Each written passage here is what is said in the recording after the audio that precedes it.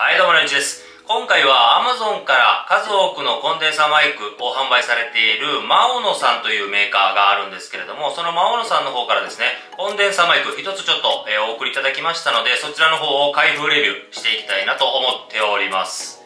で、マオノさんといえば、めちゃくちゃコスパがいいんですよね。めちゃくちゃコスパがいい、まあ、コンデンサーマイク販売してるっていうのもあってですね、かなりこう人気のあるメーカーなんですけれども、今回ですね、僕紹介させていただくマイク、こちらも、実はですね、めちゃくちゃコスパ良くなっております。はい。で、このマイクなんですけど、もうマイクとマイクのアーム、あとはショックマウントやポップガード、あとマイクスポンジとかね、もう簡単に言うと、オールインワンという形で入っている商品になってます。で、価格的には、クーポン発行されていて、今現在はおそらく7000円ぐらいで購入ができるんじゃないかなと思うんですけれども、初心者にとっても一番おすすめしやすいこのマイクのセットという形になりますので、ぜひですね、興味のある方は最後まで見ていってください。はい。じゃあ早速開封していきましょう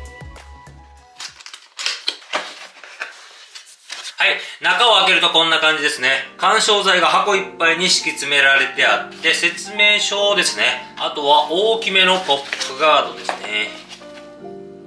そう、これは、ちょっとマイクスポンジは箱の関係上、ちょっとぺったんこになって入っていたので、形は成形しましょう。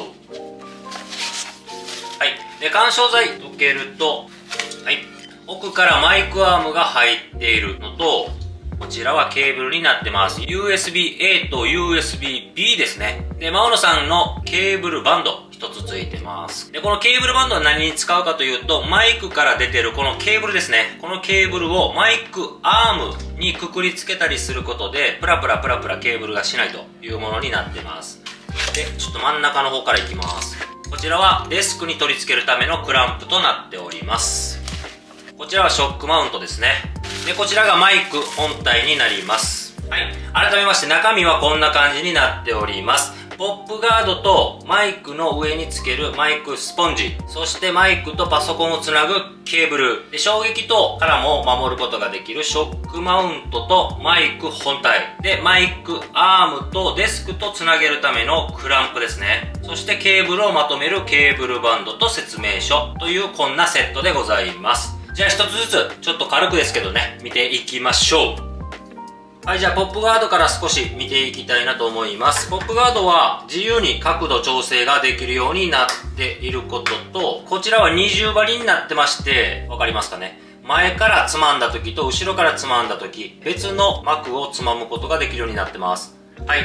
で、僕が普段から使ってるポップガードに比べると結構大きめなんですよね。で、これが結構大きめだったので、ちょっとサイズだけ最後に測っときます。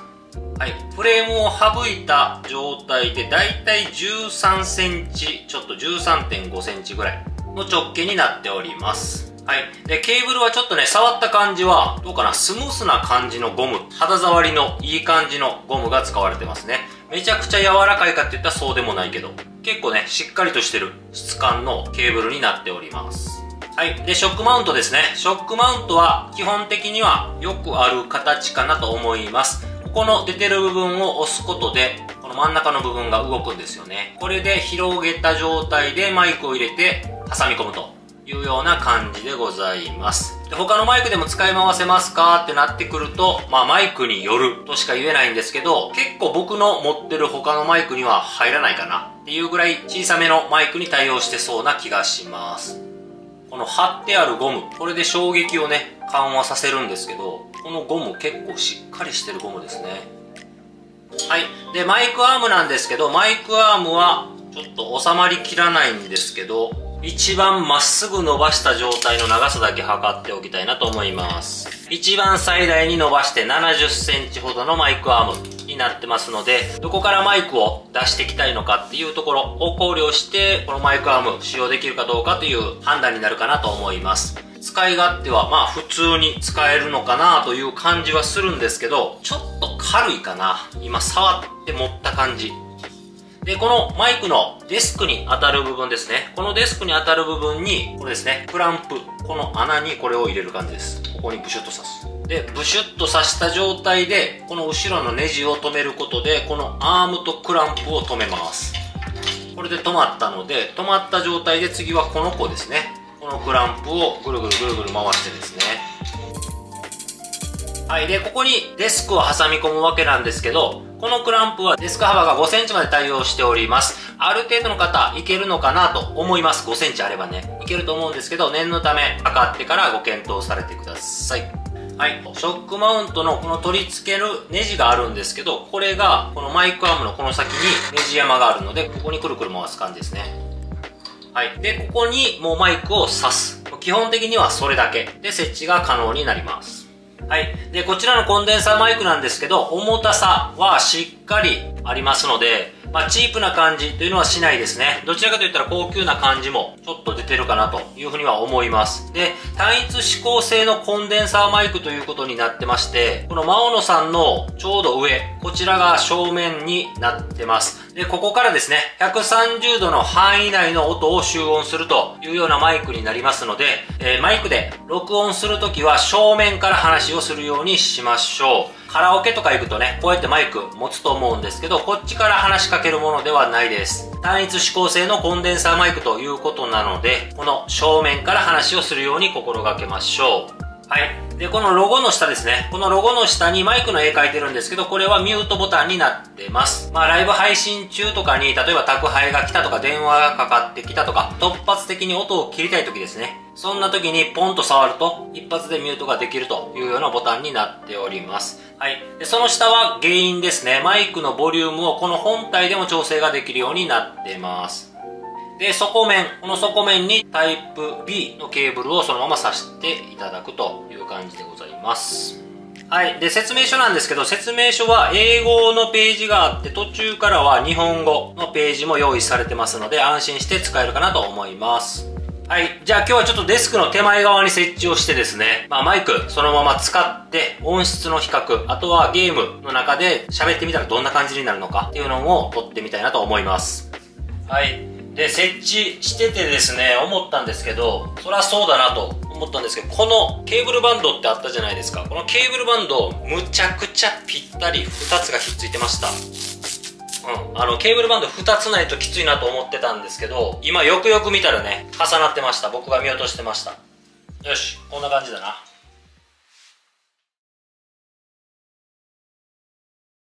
マイクのテスト中。マイクのテスト中。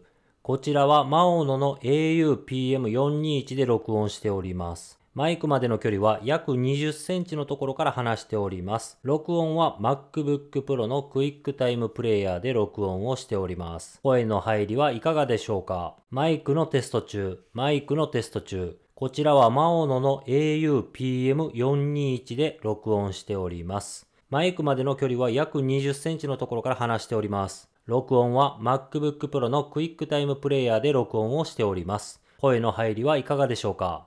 今から数秒間ミュートを押してみます。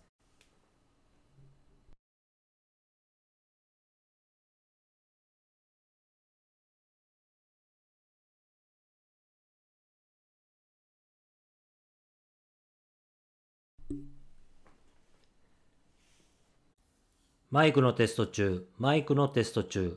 こちらは FIFINE の K678 で録音しております。マイクまでの距離は約20センチのところから離しております。録音は MacBook Pro の QuickTime Player で録音をしております。声の入りはいかがでしょうか？マイクのテスト中、マイクのテスト中。こちらは FIFINE の K678 で録音しております。マイクまでの距離は約20センチのところから離しております。録音は MacBook Pro の QuickTime Player で録音をしております。声の入りはいかがでしょうか？今から数秒間ミュートを押してみます。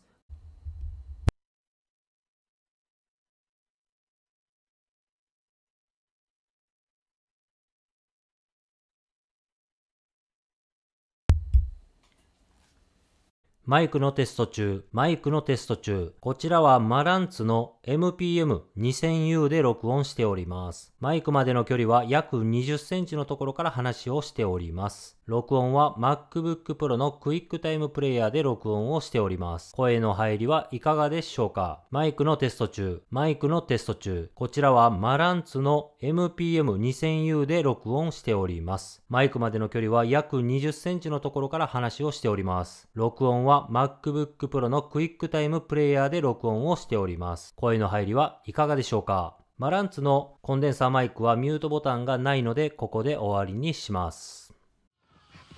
はい。じゃあ、モンハンライズちょっとやっていきましょう。コンデンサーマイクまでの距離、だいたい20センチぐらいを維持してます。自分の声、ゲームの中でどんな感じで入っておりますでしょうか。僕自身はちょっと編集するまで聞こえない状況なので、まあ、喋ってるだけではあるんですけれども、ある程度、声は綺麗に入ってくれてると嬉しいなと思っています。結構今はヘッドセットのマイクでそのまま実況したりとかチャットボイスチャットですね。したりしてる人もいるとは思うんですけどやっぱりコンデンサーマイクの方が綺麗な音声でまあ録音できたりとかいうことはあろうかと思いますのでまあそれを参考にしてもらえたらなと思いますね。あとちょっと強めにゲームのパッドコントローラーですね。押してみたりしてるんで、まあ、このゲームの操作音ですね。カチャカチャカチャカチャ。それがどれぐらいで入ってるのかっていうのも聞くといいかなと思います。やっぱりねコンデンサーマイクを使って実況をするとすごく実況してる感じが自分でもするんですよね。だからそこがね実況してみたいなとかこれからしようかなと思ってる方にとってはすごく大事なことだと僕は思います。その形だけで自分のモチベーションにつながりますからね。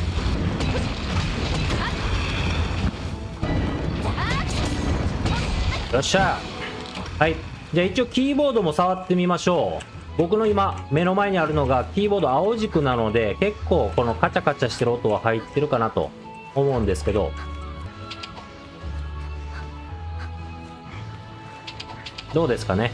やっぱしコンデンサーマイクの悪いところってその裏側の音もどうしても拾ってしまうのでそこだけは分かっておいた方がいいかなと思いますはい、いかがだったでしょうか？今回ですね、紹介させてもらったマオロさんのコンデンサーマイクなんですけれども、え結構良かったですよね。思っていた以上に、ちょっとコンパクトなコンデンサーマイクに感じました。で今まで僕が使ってたアマランツのコンデンサーマイクに比べると一回りぐらいかな。ちょっと小さい感じにはなってて、あのデスク上でね、使うとかいうことを考えても、すごく使い回しはいいかなというふうに思えたっていうのがありました。で、まあ USB の接続一つでもうすぐに使うことができるっていう、そこら辺のお手軽性もものすごく良かったかなというふうに感じました。で、実実際ね、青野さんのこのコンデンサマイクのもうめちゃくちゃいいポイントっていうのは、やっぱりコスパの高さ、マイクアームとショックマウント、あとポップガードにマイクスポンジとマイク、全部ついてきて7000円少々でね、購入ができてしまうっていうとこなんで、もうそこはね、やっぱしもう初心者にとってはめちゃくちゃ神がかってる、まあところにはなるので、これからゲームの実況をしてみたいとか、あとはライブ配信をしたいとか、 Zoom の会議で使用をしたいとか、いう方にとっては、検討してみる価値はあるあるのかなというぐらいの商品になってました。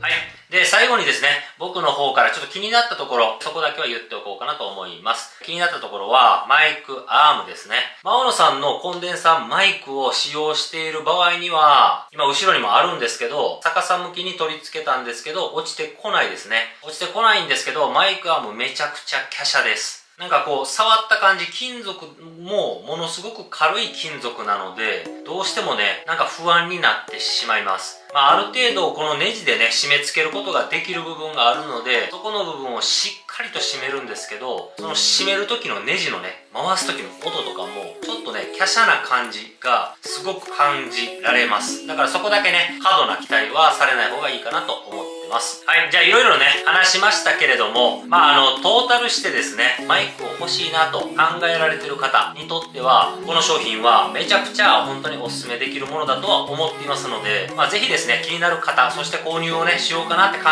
えてる方は、Amazon のリンクをまた概要欄の方に貼っておきますので、ぜひ一度見に行ってみてください。はい、じゃあ今回はここまでといたします。最後までご視聴いただいた方どうもありがとうございました。また次回の動画でお会いしましょう。バイバイ